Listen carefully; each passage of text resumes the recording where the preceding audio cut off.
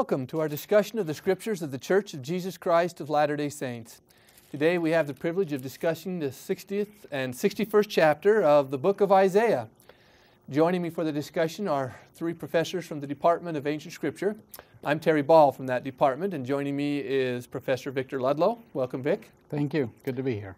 Sitting next to Vic is Professor Terry Szink. Welcome, Terry. Good to be here. Glad to have you with us. And once more joining us is Professor Ray Huntington. Welcome, Ray. Thank you. Glad to have you with us too.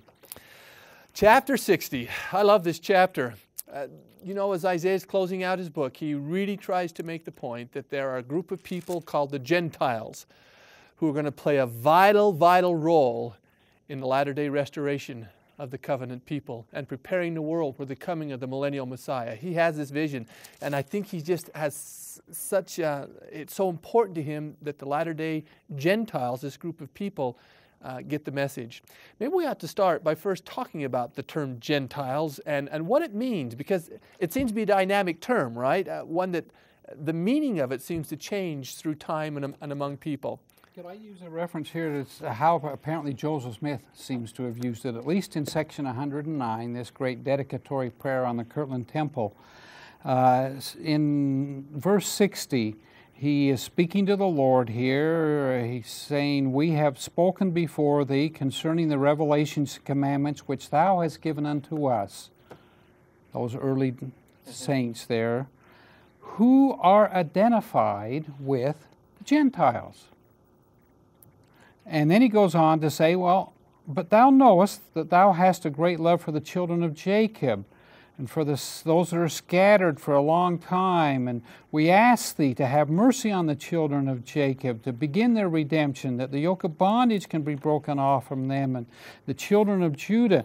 Verse 65 And cause that the remnants of Jacob who have been cursed and smitten because of their transgressions be converted, and so forth. And then verse 67 And may all the scattered remnants of Israel start to come back. So we are the ones here Joseph and all those others who are identified with the Gentiles.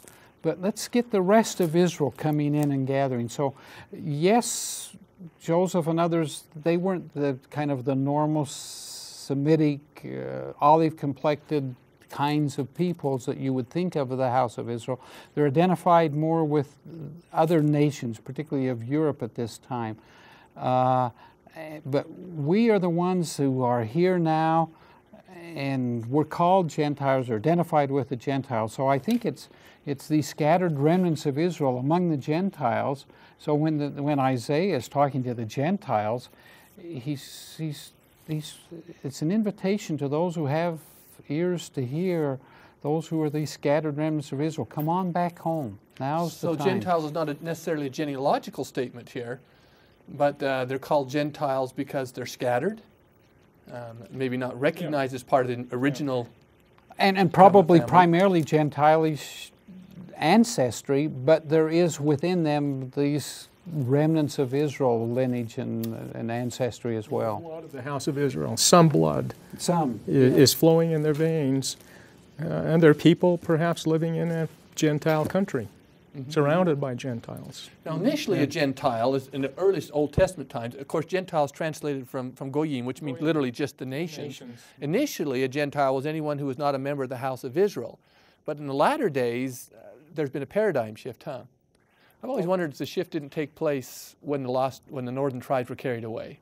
So you go from being Israel or Gentile to being Jew or Gentile, because in the minds of the Jews, the only ones who are left who are Israelites are Jews. Part of mm-hmm. themselves.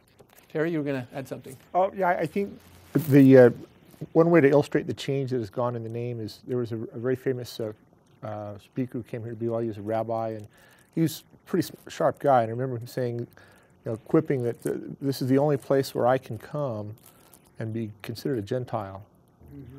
And uh, it, the, the, the, the, modern day definition of Gentile is, is someone who has not entered into the covenant. So so in, in Old Testament days, it's anyone who's not, who's not uh, of the house of Israel. In our day, it's, it's anyone who is not under the covenant. So we, we're, all of us here at the table are probably, gent, you know, would be considered Gentiles from the first definition, but we're, we're all considered uh, house of Israel by the second definition. So we're both Gentiles and, So And maybe that's what the Book of Mormon means when it says the Gentiles are numbered among the house of Israel, meaning they've entered into the covenant.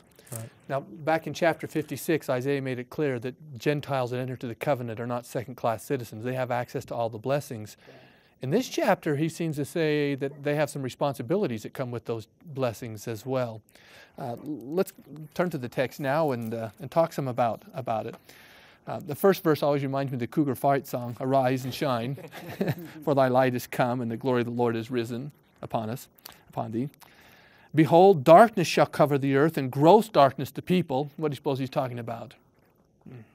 Apostasy, Yeah. ignorance. There's this period of apostasy, but the Lord has a plan, right? He arises upon thee, his glory is seen upon thee, and Gentiles shall come to thy light. Who's he talking about here in terms of thy light? And what's the light? brightness of thy Exactly. ri- Would Yeah. that be the restoration? You know, the, The Gentiles shall come to thy light. Who's thy here? Is this the church? We're talking about the Yeah. Joseph Smith, the, the, the the covenant, covenant, the priesthood. yeah. Mhm, To the n- truth and knowledge and Prophets. intelligence. And you'll, he tells them to lift up your eyes and see, they'll all gather themselves together. Reads a little bit like chapter 49, verse 18, where all these Gentiles are coming, remember, and, and recognize. Bringing, bringing Israel. Yeah. Carrying them. And the, the ancient covenant people look at him and said, Where did you come from? Mhm. There's so many of them. Well, well, just a thought, a, a question. Uh, it's easier for me to understand verse 3 that Gentiles, we've already, already discussed the meaning of that, shall come to the light. But what do you think he means by kings to the brightness of thy rising? Yeah. Is there a connection between entering into the covenant and laying claim to kings and to king, kingdoms and principalities and thrones? It's a provocative question, isn't it? It is. Yeah, it, Well, I, I think is. where, where kings is, is seen in parallel with Gentiles. They're the kings of these. I mean, if you're talking about ancient Israel, he's saying that, that Israel will be restored, that uh, these, these other nations will, will step forth and they'll help you. And, and, and he's just repeating that by saying kings, I mean, that's a parallel with Gentiles, will come to the rising or the, uh, the brightness of thy rising. So. Now, what's So it could be the people, another way of looking at it, it could, it could be the people and their leaders. exactly. So? And then they become kings by entering the covenant too. So there's several levels of interpretation here too. Sure. Uh, look what happens here in verse 3. He says the Gentiles are coming in verse 3. He tells them to look, lift up your eyes and look around, you people.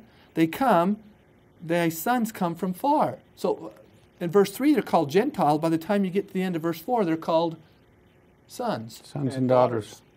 So Sons and daughters. they may be Gentiles, but once they come to the light, Yeah. they're now recognized as part of the covenant family. Like King Benjamin said, they become children of the family. I mean, they be spiritually begotten Yeah. children of Christ. You're now in the family, I- the I like- covenant family.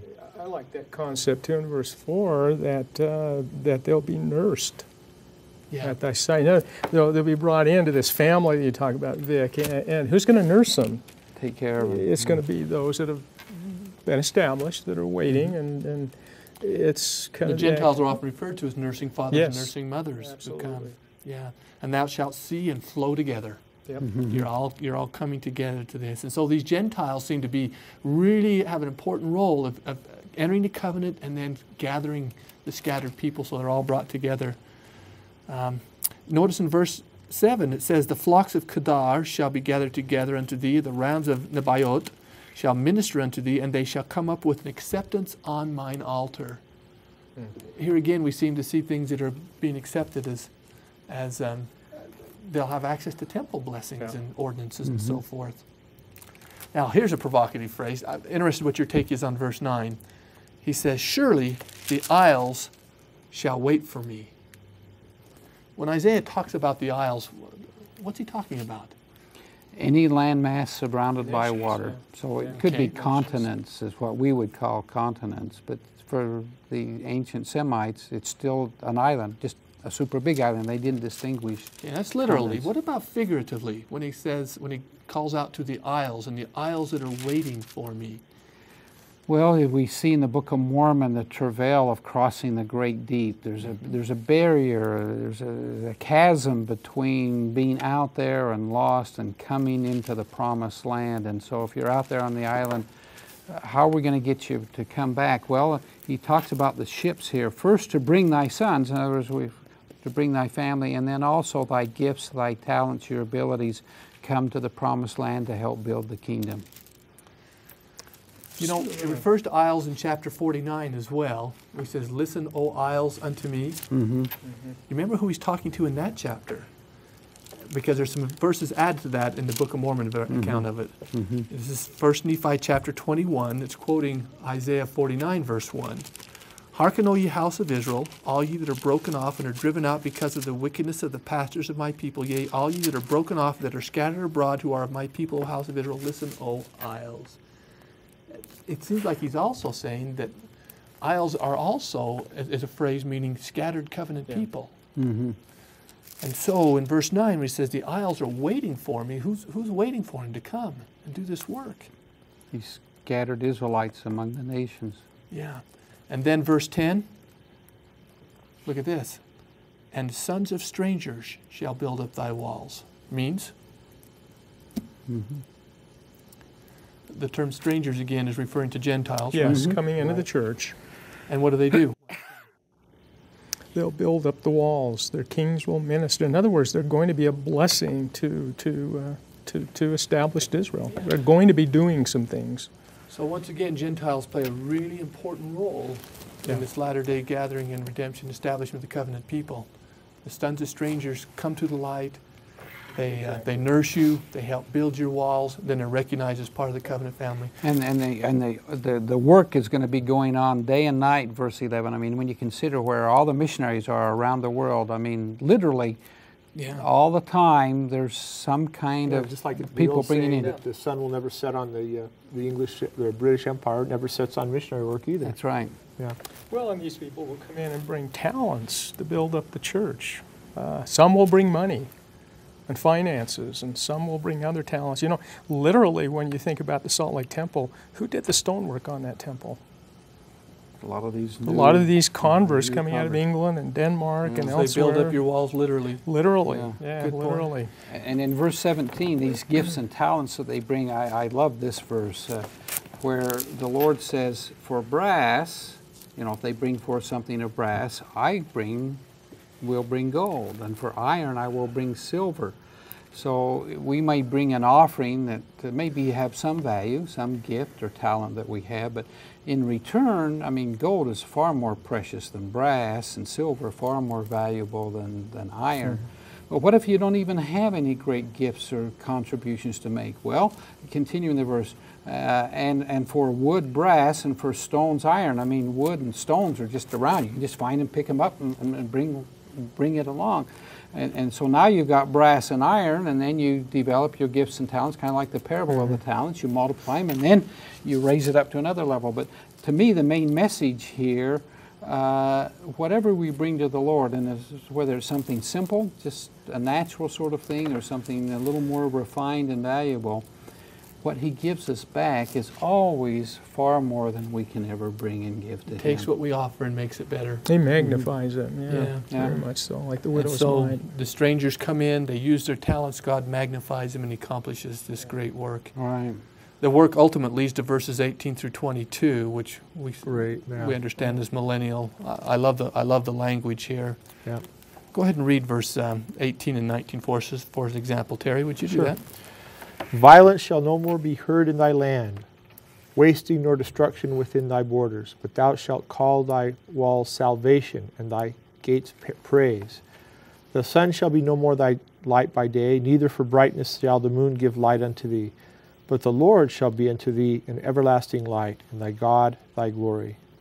This makes you ache for a millennial day, Yeah, it? he's You know- going to talk about that a lot more before he finishes his writings. That, that becomes his favorite motif Yeah. here before very long. the Lord is the source of light, and there's an end of violence. And, and this Yeah. whole millennial reign, you know. And it's interesting that the, the walls and the gates which were used to protect them are no longer needed. It's, it's salvation and praise that now protects them. It's great stuff. Mm-hmm. Excellent. Well, a very wonderful promise about Gentiles coming to the light and playing such a vital role then in gathering and, leading up to this millennial reign. I, I have written at the top of this, I have written the phototropic Gentiles. Phototropism is a bot- botanical term that when, you know, if you put a, if you have a plant in the window, all the leaves point to the window to the light. If you turn it, then the leaves all turn. And I've always thought I want to be a phototropic Gentile. I want to be drawn to the light, and when I get there, make sure I'm productive. Now, let's move on to chapter 61 with the time we have. Um, the first couple of verses of chapter 51 are very well known to us um, because the Savior cited them in, the, in, in, his own ministry. Would one of you like to kind of review that for us? Okay, let's see. It's the first verse and a half. It was in Nazareth after he had been in the wilderness. He'd been baptized of John. So this is really, I guess you could say, the, the official beginning of his public ministry. And uh, it almost ended day one as he quoted this verse and a half, because after he quoted this material and said, In me is this fulfilled, they were ready to take him and throw him off the cliff there. Uh, let, me, let me read. The Spirit of the Lord God is upon me, because the Lord hath anointed me to preach good tidings unto the meek. He has sent me to bind up the brokenhearted, to proclaim liberty to the captives, and the opening of the prison to them that are bound, to proclaim the acceptable year of the Lord and the day. Well, no, he stops there, and to proclaim the acceptable year of the Lord, and that's where he stops. And to me, this sounds like, well, I wish people would do this preach good tidings, uh, help uh, those that are captives, and, uh, and proclaim the, the year of the Lord. What's wrong with that?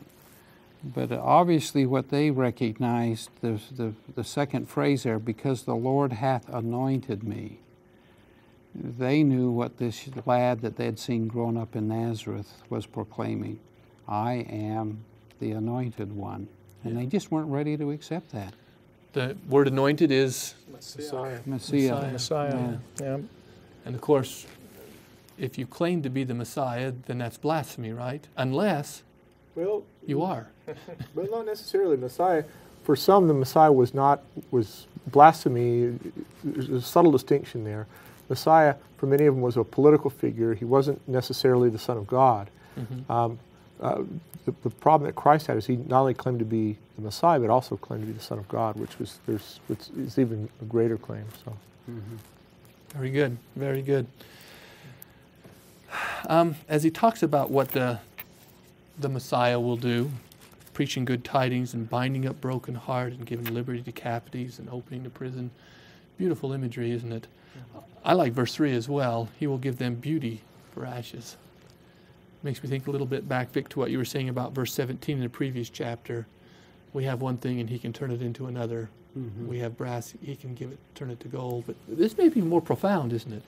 Oh, yeah, to, to, to take something that is basically worthless uh, you know, ashes to beauty and, and, and, oil of joy for mourning and, and, and, these other contrasts. That's, we just can't begin to comprehend how from something that appears to be worthless, something so valuable can be brought forth. I suppose we all know individuals who've maybe made mistakes and think their life is ashes. And yet, if we turn to the Lord, He can turn it into something beautiful. You know, mm-hmm verse 3 to me is a summation of um, Matthew, Mark, Luke, and John. When you think about his life uh, water to wine, leprosy to purity, yeah. death, to life. life. Everything that he did in his mortal ministry was to take something and change it and make it better. Corruption mm-hmm. and incorruption. Yeah, absolutely. Using Paul's language. Yep. Before we leave these verses, it's, it's interesting that he didn't quote the last half of verse 2 at least in that setting there in Nazareth, a day of vengeance of our God to comfort all that mourn. Apparently, those terms seem to allude more to his second coming, to when, millennial he will, Messiah. when he will be justified, and to comfort all that mourn, when everybody will, will understand he is the Lord of this earth. If everybody understood the plan of salvation and mm-hmm. understood the role of suffering and disease, then, then and, and death, then, then we wouldn't have so much need to mourn and feel lost. Uh, there's also another interesting aspect here, and, and we see this a, a few other times in these next chapters. If you read year and day in the same verse, it's a year of the Lord and uh, uh, of, day of acceptable, it's something positive, and a day of vengeance. And there's some other passages where it's a similar sort of a promise uh, 61 verse 2 and 63 verse 4 and, and others where uh, the year is a positive blessing, whereas the day is a negative, judgmental, punishing. I, I, I like that ratio. I mean, there are times when he has to come forth with vengeance, and he will bring vengeance and judgment and punishment and destruction. But compared to a day of this negative, he will also bring forth a year of blessing and reward and comfort and peace. Uh, it's a wonderful imagery that Yeah. Isaiah uses here. Now, the first part of chapter 60, he talks about Gentiles and their role, and then how that leads up to the millennial reign, reign at the end of chapter 60. Chapter 61, this kind of ends up in millennial reign as well, where he comes and gives beauty and so forth. And then what is he doing in verse 5 and 6 and 7 and 8 and 9? He's turning back to talking about the Gentiles. Mm-hmm. So you've got Gentiles to start this section and Gentiles to end this section, and what do you have in the middle? This whole The millennium. millennium, Yeah. the Christ and his role. I, I've- I read this and I wonder if it's intentional. You know, often in kind of a chiastic fashion, when you have repeating themes, the thing you want to stress the most is right in the middle. Yeah. And, and And it's not just his millennial reign, it's just his coming and his being Yeah, here on yeah, earth, true. period. Very- very First true. and second coming. so we have the Gentiles, though, that seem again to be playing a very important role in bringing all this about and in God's plan to redeem His people. And he uses some imagery similar to chapter 60. Uh, in verse 10, remember, in chapter 60, he said, The sons of strangers shall build up thy walls. So obviously they're masons. But what are they in verse 5 as well in chapter 61? They're shepherds. Shepherds. Shepherds in and plowmen. Uh-huh. Farmers. Yeah, he often uses this imagery of um, of likening the covenant people to a to a vineyard or to a sheep, and they're not productive or, or being obedient. And what do the strangers do? Read Gentiles in this case. Mhm. They seem to come in and make you productive again.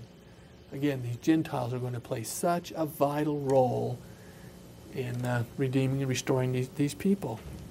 Strangers shall stand and feed your flocks. The sons of an alien shall be your plowmen and your vine dressers. Ye shall be named the priests of the Lord, when men shall call you the ministers of our God. Ye shall eat the riches of the Gentiles, and in their glory shall ye boast yourselves. Obviously, what the Gentiles bring and have to offer is going to really nourish them. Uh, verse 7 could be confusing. Let me read this, and maybe you could comment on what we ought to make of this. For your shame ye shall have double, and for confusion they shall rejoice in their portion. Therefore, in their land they shall possess the double. Everlasting joy shall be unto them. How do you make sense of this verse? It seems he's talking to Israel, so the second person would maybe be your shame uh, double because of your wicked. You were a covenant people, I mean, you should have known better. So he received a double A double portion of. punishment. Makes Scattering, yeah. punishment, So the you and the yours is ancient Israel. What mm-hmm. else? But in confusion, they shall rejoice in their portion. Maybe the, the Gentiles, maybe the, might be the ones he's talking about here as the third person. They, they will have their blessings, their opportunities. In their land, they shall possess the double. They're going to be receiving blessings. Now, he doesn't, you know, where do these blessings come unto them, this everlasting joy? Somehow or another, maybe even though you're being scattered among the Gentiles as a punishment to you, you and your gospel, your scriptures, and these other things, particularly of the restoration, are going to bring blessings unto them. Now that's that's just the way I would read it. No, I think I, that, No, that's I kind of think- the feeling I get too. We know that the covenants first went to the Israel, ancient Israel, Mhm. And they were scattered. In the latter days, according to the Book of Mormon, who does the gospel come to first? It goes to the Gentiles. Gentiles, and through them to the Jews later on. Yeah. Uh, I, I wonder if the same paradigm's being taught here. Hmm. Mm-hmm. Because you, you know you're not living up to those covenants now. For your shame, you're going to be punished. They're going to receive an inheritance or a portion now. And then what do they do with it? Well, they become the strangers who feed your The flock. Yeah. You know, it is interesting that uh, throughout the Old Testament, Israel is referred to as God's firstborn. Mm. And you know, the firstborn always received a double inheritance, Portion, a double portion. In this case, Israel is going to receive a double portion of judgment. And in verse 7, it also indicates that these Gentiles that are coming into the church are also going to receive a double portion. Look at of the portion in verse 8. Read it for us. Yeah. I, the Lord, love judgment. I hate robbery for burnt offering, and I will direct their work in truth, and I will make an everlasting covenant with them. And they will, in a, in a sense, they're going to be uh, receiving a, a, double portion as if they were the firstborn as well. Mm-hmm. Part of the everlasting covenant. Part of, part of the covenant that and then Gentiles look at verse 9. receive. Their seed shall be known among the Gentiles. Absolutely. And their offspring among the people. They're recognized as part of the covenant. covenant family. Yeah. They are the seed which the Lord hath blessed. End of verse 9. Yeah. And then in verse 10 and 11, he talks about this, this like preparing for the coming of the bridegroom. You're putting on your clothes as this happens. The question always comes as you read these things then are who are these latter day Gentiles who the gospel is going to be among, starting as early as chapter 11, we see that, the ensign set up mm. amongst the Gentiles, who then have the responsibility to gather scattered Israel, and as that happens, they become recognized as part of the covenant family. Who are they? And I, th- I think as Latter day Saints, we would say it's us. It's the church. It's the Absolutely. Church. What a privilege and often awesome responsibility to fulfill the mandate here. Well, bringing this to a conclusion then today, the major themes, would someone like to summarize the major themes of chapter 60 and uh, 61 for us? Oh, 60, 61 beautiful chapters on uh, really things that are happening now, the gathering of Israel and bringing in the Gentiles, those that have been scattered and lost, and now the light of the gospel is, uh, is coming to them. But I think more importantly, the, the, the thing that I get out of these chapters is the, the blessings that these Gentiles will bring as they come into the church. And they come in with full blessings and full inheritance and a full portion uh, of God's blessings for the, for the covenant that they'll receive. And, uh, so, uh, exciting times and more to come. Much, much more to come. Well said. Thank you, brother. For more information on this program, visit our website at byubroadcasting.org.